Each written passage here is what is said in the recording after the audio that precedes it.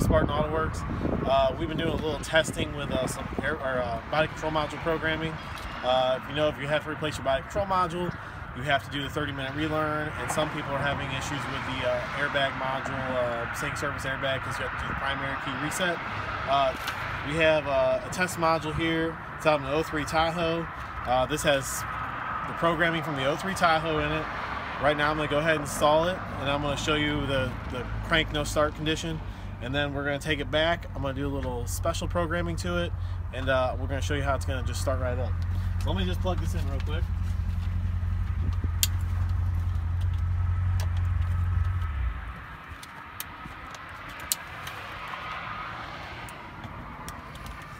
Alright, you want to get in on here show them the dash. Turn the key on, the airbag light's going to go through its test and it's going to fail. Alright, so it's failed and the security lock's on. Try to start, no start. I'm to go do a little magic to this and we're to come right back and I'm to show you how it's just to start right up.